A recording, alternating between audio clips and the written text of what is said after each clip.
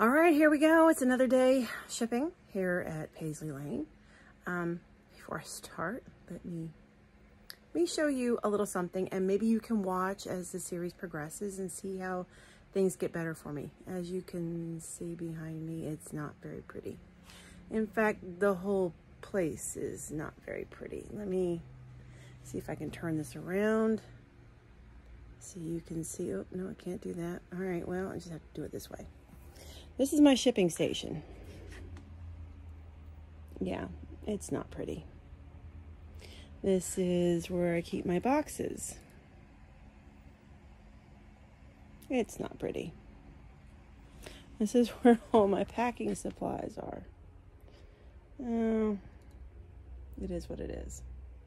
But I'm really wanting to get things better because I'm tired of the confusion. I'm tired of the mess. I'm tired of everything. So today starts a journey of let's get this taken care of. Let's get this in order because I need I need simplicity. I need peace. So anyway, we're going to do a ship with me video. I've got my list right here, handy dandy list, where to find my items. And I will try not to make you seasick as I move. This is my first time using this stick thingy. So we'll see as we go. And I'm going to have to dig a little bit. So pardon me. Okay, here I am in where all my finished items are that are stored. As you can see, I'm doing the uh, box method.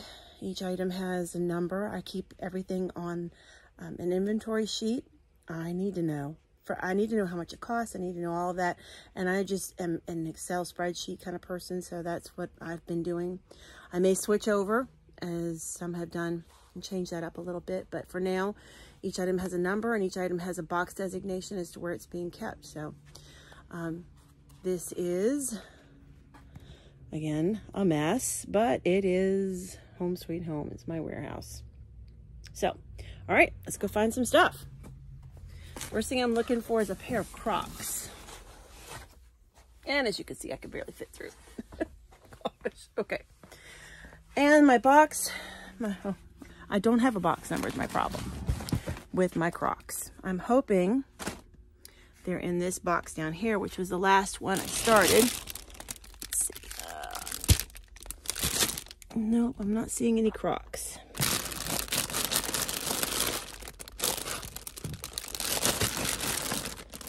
No, of course not. Hmm, okay.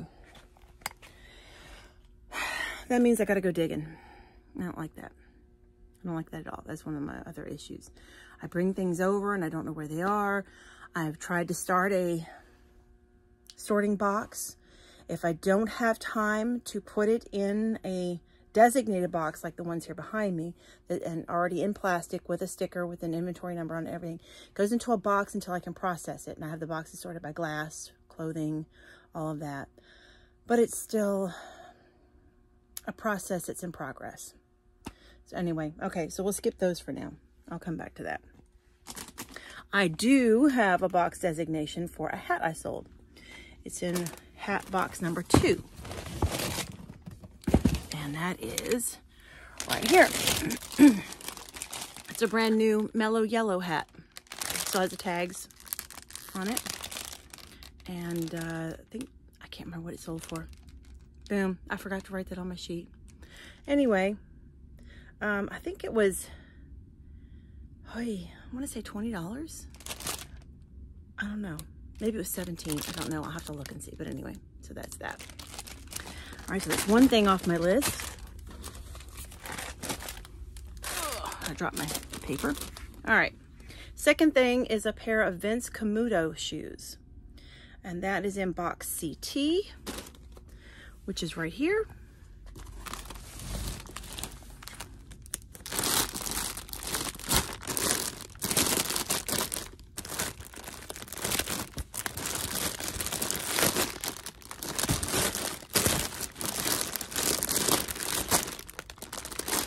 Well, supposed to be in here.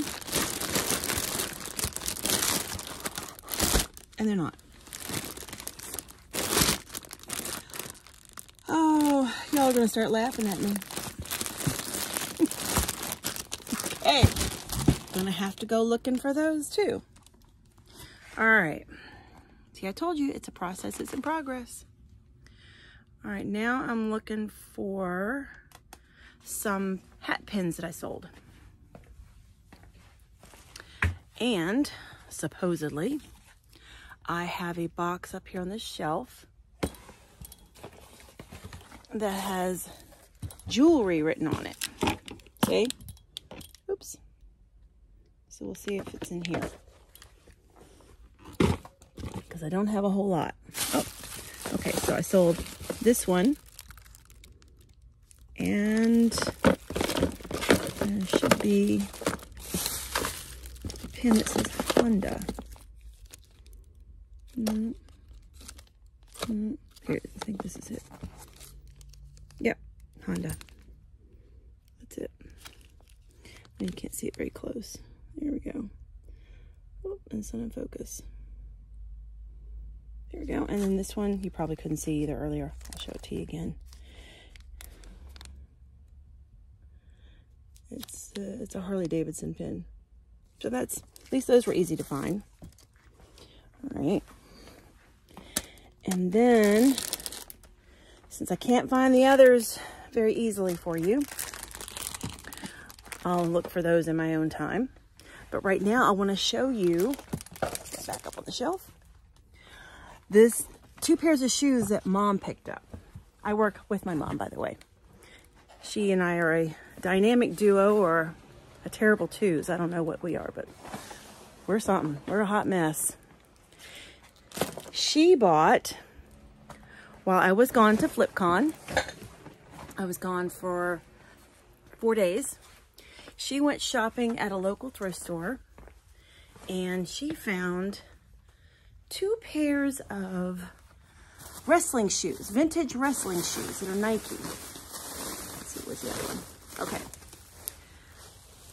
And I had no clue what these shoes were about. She she had gone ahead and drafted them and taken pictures before I got back. And she said, I didn't put a price because what I saw didn't make sense, so I left it alone. Said, okay, what does that mean?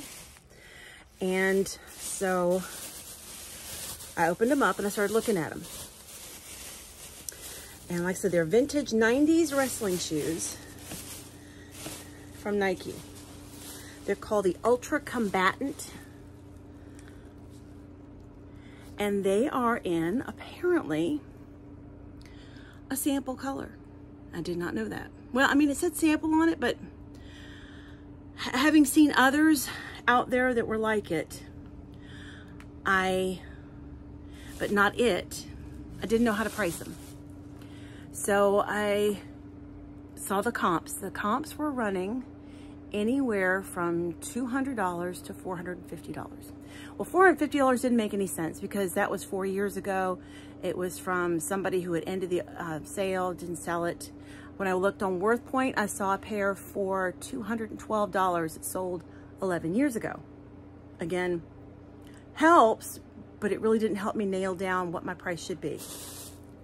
So I thought, well, we'll, we'll price it a little higher than I think it should be. First I put 195 then I changed that and I put 225 Again, this is them. Yeah. And these are things, these things are like, mm, I don't think anyone ever wore them. They're in perfect condition. Oops, oops, oops, oops, oops. Perfect condition until I drop them. Um, they do have probably some like closet marks. There, I mean, it's nothing, nothing dirty, nothing worn, nothing anything. So I priced them at 225 And then the second pair I have has some damage. It has some uh, discoloration of the soles. Pull them out of the bags. Should have done that before I got you guys on there. Let me see if I can find the one that has the discoloration. No, that's not that one. Okay. There we go. You can't tell it from the top, but here's the discoloration. Yeah. Again, I don't think they were ever worn. Um, they appear to be in like new condition, except for that, that yellowing. These I priced at 195 And I tell you what, it wasn't 10 minutes. And both those things were purchased and purchased by the same guy. So I'm thinking I way underpriced them, obviously. But that's okay, you know, because uh, my mom paid $8 a pair for them. So if I get $420 out of the pair, uh, two pairs, and we've got 16 into them, I'm happy. So, hey, thumbs up to whoever got them. If you can make some money, help yourself. I'm happy for you. I'm happy I got what I got. I know I went way underpriced them because it did say, I don't know if you can see it or not. Oops. Figure out how to do this stick. At the bottom, it says sample. So I don't know if it, uh, it probably does make it more. Again, I'm, I'm learning sneakers. I don't know sneakers. I know hard goods. I know household goods. I know I'm learning clothing, but sneakers I'm still totally ignorant about. So that's, that's my bad, but his good if he gets it. So I'm excited for them. Anyway, so that's what I'm selling today. Um, nothing exciting. Like I said, it's just a lot of bread and butter. Um, in fact, I can look up my prices right now for some of the things I did sell. The pins I sold for $10.95 for the Harley Davidson and $9.95 for the Honda. The hat, oh, I was wrong, $14.95. Got that wrong.